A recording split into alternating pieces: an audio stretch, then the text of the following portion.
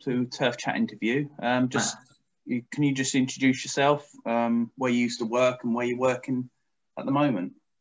Hi, I'm Tom Waldock, head groundsman at Towcestrian Sports Club. Uh, previously at the Ricoh Arena in Coventry, uh, Milton Keynes Dons, and Peterborough United. Uh, more clubs than Tiger Woods, as they say. a few. Yeah, been around. Um, yeah. Yeah. So where you're based, what what's what what have you got there? So at Towcestrians, we are two, three now clay-based pitches, um, a brand new hockey pitch, sand-based, it's uh, three tennis courts, cricket pitch, and we're just in development of a brand new full-size cricket pitch down the bottom. It's being filled in at the minute to bring the levels up. Uh, yeah, we we have all all sports there, archery, everything now coming in. We've got a sand base now, well, a, a full, fully draining pitch now as well to go all year round. Looking at more primary drainage putting across the whole site as well. The, the weather of the last two years and the climate change of the winters, clay based pitches, we need to be moving forward with the weather now and getting some drainage in. We lost so many games last year and this year would have been the same, to be honest.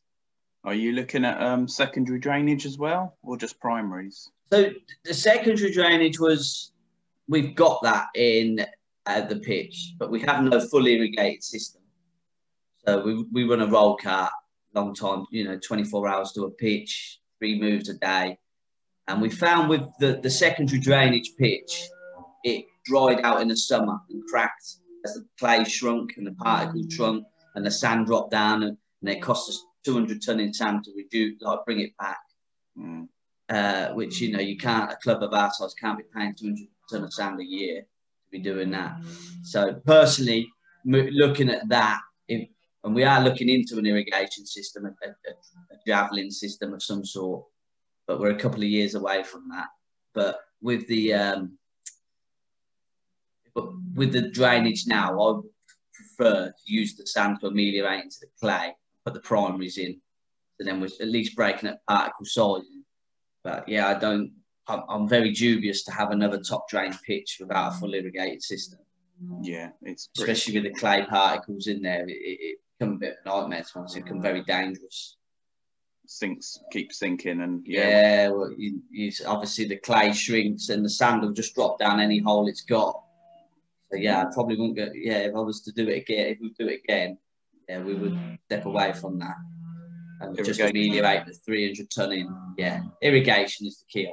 Though, the, the key, if you yeah, that's this is yeah. all the thing. You can put too much sand in and then not have yeah. an irrigation system to back it up. It's, that's it. To be fair, that pitch this year, I, I know about no rugby, but we have five or six people up a day training, and that pitch has been phenomenal for the whole year it, it, the, the fully draining, which is the top draining, but mm-hmm. it's the Catch 22. Shut down for three months during the hot spell because it was mm-hmm. sunk and the, the sand on. But yeah, it's uh, mm-hmm. yeah, it's, it's getting their moisture levels right, isn't it? So we're learning curve from where you've been. Yeah, definitely, definitely, yeah. But I mean, if you can afford and you can irrigate well, hundred percent get it because you benefit massively through the through the winter that kind of ties into our next question a bit then. Um, what are the difference differences between managing clay pitches as you do now compared yeah. to sand-based pitches that you used to manage before at, your, your, professional clubs? Yeah, big difference is a hell of a lot, really. You know, it's uh, sand-based pitches you can work on pretty much 24-7 all year round. And clay-based, the biggest change is, you know, the, I've not been able to get on my pitches two or three months this year. And you, you sort of feel useless as you're employed full time. You're walking around picking your nose, as to speak, because there's nothing else to do. I think last year they called me the Christmas elf because I was putting up decorations when it was wet. But it's uh, the, the, difference is huge. Yeah, it, it, they are. It's um, same with the fertilizer programs. You go from feeding two weekly to six to seven weekly because it, it retains so much of that more moisture and holds on to it. Uh, the uh, you go from aerating so regular with sand-based pitches all year round to trying to minimise getting the aeration at the right times on clay-based pitches because obviously you don't want that shrinking to happen. You aerate, it shrinks. You've got cracks everywhere, or your linear aerate. So yeah, the differences are huge. It's been been a massive curve into trying to get round do things at the right time on a clay-based pitch. Uh, I think really the, the, the timing is key. Aeration is timing is perfect, and it's about just learning your pitches, taking plenty of samples, and managing that moisture, ready to get that right sort of aeration on them to get you through the tough tough spells. You you say aeration, sort of the right time to get it on is when is that? Just before the wet the wettest part, or you know, yeah, so I end of summer. I I I've got a groundbreaker in my shed. Uh, I like to ground break as the, the soil starts to go down, starts to get down. You know, like going into the winter as the moisture gets deeper. So maybe towards the end of September, and then I'll verti drain again within two to three weeks as well. And then, to be honest, the, the last couple of years we've not really been able to get near them again because they've just sat wet. But um, this year we're incorporating a lot more sand to try and pull it through and we've had a, a, a new soak away installed. I, I, believe the water table's been rising and dipping. But yeah, the air rate, air rate at the coming out like now, I'll be looking to sort of I'll be very careful with the groundbreaker now because it's looking trying to get a gauge of what's going forward. If you linear air aerate now and it dries too much, you're going to put that pitch out of action whole summer. So it's, a, it's a scare, it's a, some sort of daunting decision, but it's you've got to be confident that you know that you can you can do it and, and get away with it and retain the moisture to bring it back if need be. So yeah, we we did all ours last week, uh, coming out with ground break and then we'll verti drain at the end of March when we overseed and sand and that. Just just to confirm, the um, ground breaker is linear aeration, which is yeah. creates a continuous line in the soil. Shapes soil basically to create the air pockets. Yeah. What sort of depth does that go to roughly? Just put new blades on it and it goes down to 11 to 12 inches. Wow. But I've, uh, I, can't, I get down to about nine at the minute. I'm still trying to, I can get the verti drain down to 12 inches comfortable. Yeah. I can't, it's, it's, a completely different ball game with that slitter. it seems to push you around in a tractor.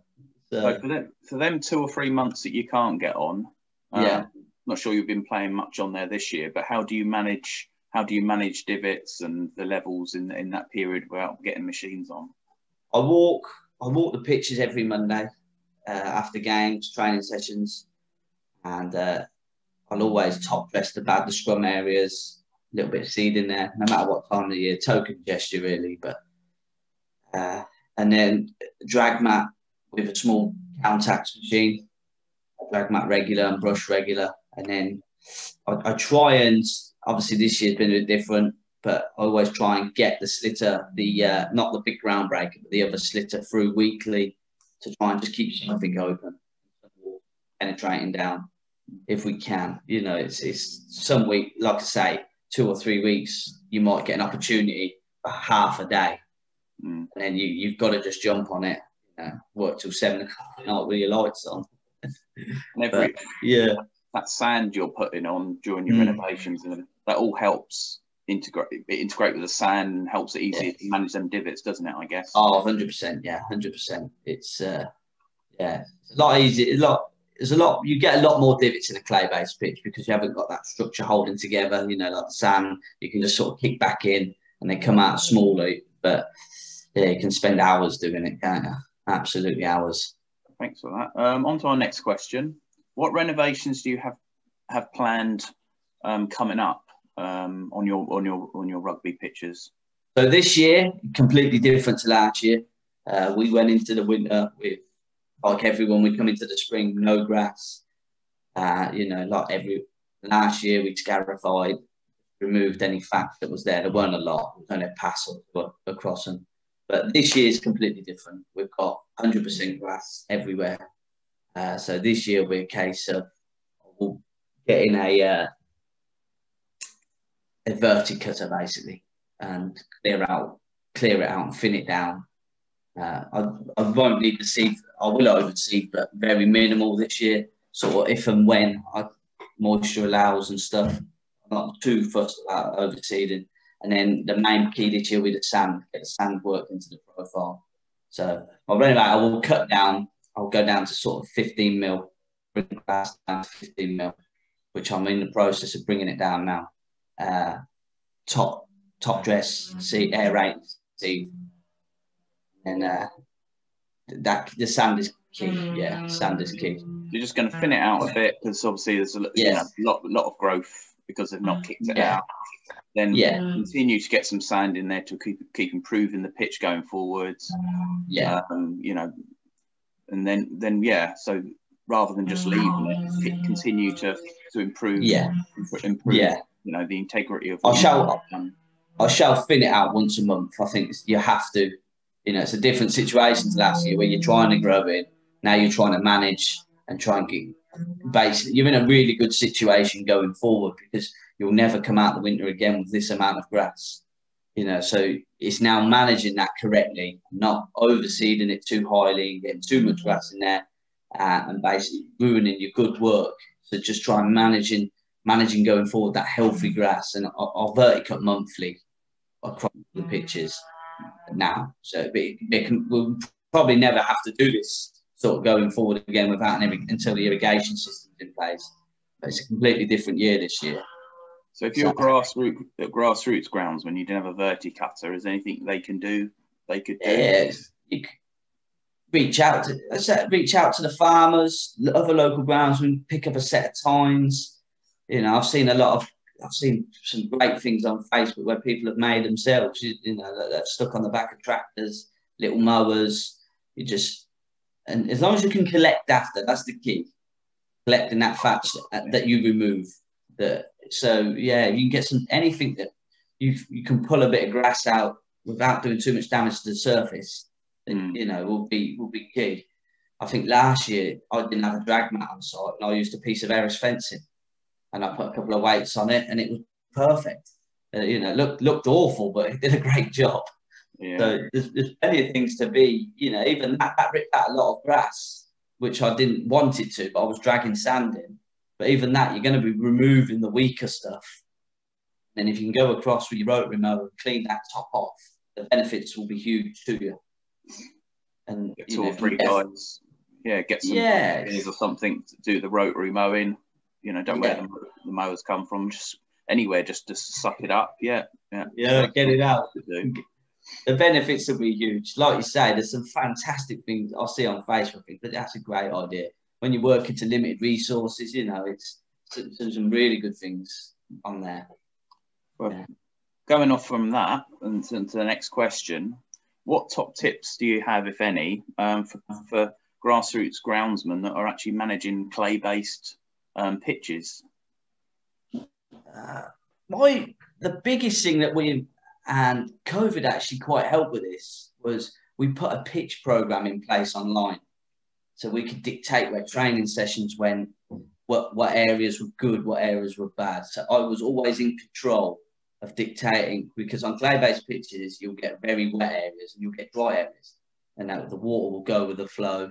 You know, so is managing. I think the biggest one is managing your pitches and educating your coaches. I know they all laugh at us all of the coach, everyone at my club's a volunteer, and I've come from a level where we've always managed the coaches. We've dictated where we put them to warm up, where they train, and when I sent them an all an email out, basically saying ladders, high intensity training, all that ought to be done here. I could imagine the WhatsApp groups went a bit crazy, like who's this jumped up little bastard sort of thing, you know. but it's worked, and and it, and I've managed use certain areas. So I've always kept them off the bad areas. Once explained to all of the managers and the coaches, I'm not putting you on the worst area, I'm putting you on the best area so that the worst areas can recover and, and get it through to them that you're always, and as long as they can rotate.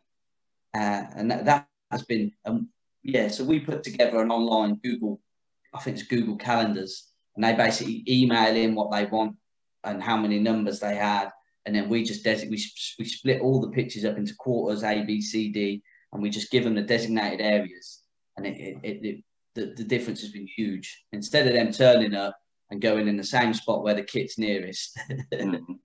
They now turn up and they they'll pick the kit and they'll go elsewhere. Or if they drop me a message, I'll take the stuff over and attract tractor what they want. You know, it's build. You've got to build them relationships. It's give and take, and I moan it like hell at them, but then I'll also give back. What you know, I'll do things for them. I'll set lights up them. So yeah, it's uh, definitely is is trying to educate and, and get them on side, but not being too weak that they'll take the mick out of you and do what they want anyway. Um, that's the biggest thing I, I, see in local when I go and help local clubs. And they, I say, well, you've got goalmouths here, you've got goalmouths there. I said, you could move them. I said, well, they won't. Well, you, someone needs to be telling them, move, around, you know. Mm. They all at first they think you're an idiot, and I totally agree. You know, if I was a player, I'd laugh as well. But then they, when they realise that they've got the best pitches they've had for a while, they, you know, they'll start to click on and people get on board. You will alienate a few, and you will row with people. It's uh, because they everyone everyone can do our job. Yeah, so. Everyone mows their garden and can do our job. Right, yeah. And, uh, another one is just be patient with your pitches. You know, clay-based pitches, be very patient with them. As much as itching it is to get on there, if you get on there too early or too wet, you'll do more damage than good. So just be patient. And as soon as you think it's right, it'll be right. But don't try and jump on it to repair something that's bad. Grass will always recover. Now, you know, it's resilience. So, Avoid yeah, that, capping, I guess, a capping yeah. or sealing or yeah, like it's that.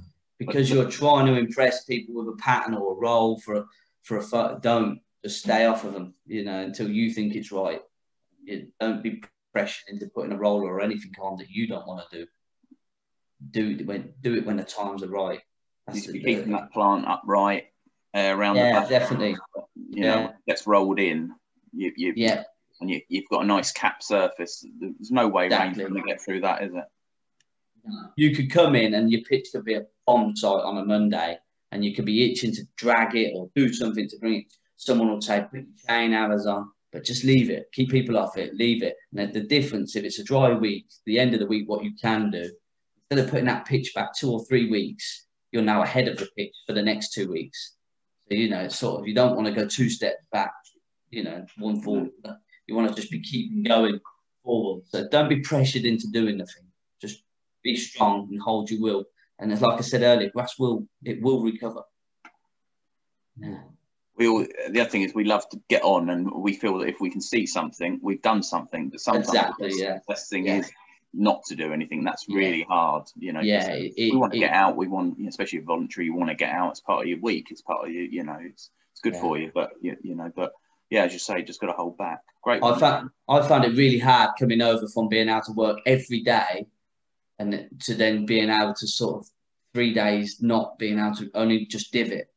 If I could have been mowing every day where I was before. So and last year I think I pushed my pitches a bit too far because of not the knowledge of the clay base. I should have stayed off them. And this year, you know, it's been a different year this year. But next year I shall stay off them. Uh, yeah, it's like I said, it's resilient. It'll recover. And last last question, because um, I know you do quite well with the, the, managing the committees and that. So, what is your top tips for managing committees to ex- access um, funding and support from the club? So, the way I've dealt with these guys is I've always written a detailed plan. I know it's boring and it's and it's not things, but basically making it I give them three examples of what will happen if it do, if you don't do it and what will go wrong, and and then the, the explanation of what every nutrient will do in that chemical fertilizer across four pitches, etc. Um, you know, the cheaper versions will be a firework. They'll go off, they'll light up, you'll get a lovely green colour, and then three or four weeks you're back to the tinging yellow. And say, well, we've spent 20 quid a bag on this, and you've put down bags. So, well, yeah, that's the difference of using a good product or going for a cheaper product. So yeah, I've always detailed um, everything I've done. So that when we were buying mowers, we'd give three options, and I, I, I just written down everything that was about and everything good that I thought. You, you've just got to basically give them so much information they cannot say no. They will say no. You will. They will. You know. But you've covered yourself, haven't you? Sort of I'm sure you deal with them at a much higher level than my my guys, but yeah, uh, yeah, we have, we give sort of an A, B, and C choice. So yeah, and, and, then recommendation what we recommend, and then at the end of the day, they make the decision. Yeah. Um, if they pick the top top choice, we we're under a little bit of pressure then because we we got to keep to it. Um, exactly. Yeah. Yeah. You know, we're saying if you, if you if you spend this and you'll get this and you'll you'll lose very little games and they lose mm. loads of games, you're under pressure. But yeah, yeah you present the present the free options and and let them choose at the end of the day. Yeah. And put your recommend. That they feel like they're making the choice then as well. Yeah. I mean, yeah. there are always free. There, there, usually are free ways to do it. There's probably mm. only one real way to do it properly, but yeah, you've got to be, you've got to work within their budget. Yeah, yeah. If you bring engage them into it, and mm. you know, they feel that it's yeah. just your your little hobby, and you know that you're just trying to spend money. You know, you go, you know, that they're part of the process, and they yeah. we all want the same thing at the end of the day. So, yeah, yeah, and I'm sure you you know, if you do your top, you're confident in yourself that it will be right and you'll manage it right, you know. So, mm. yeah, that's a, it's a, it's a good one. It's I basically tell them that much all crap that they cannot say no, and if they do say no, then they I'm you, you're covered basically, you know. And if you give them enough information, they'll and they all sit down and they say, well, what can they come back at you with, sort of thing.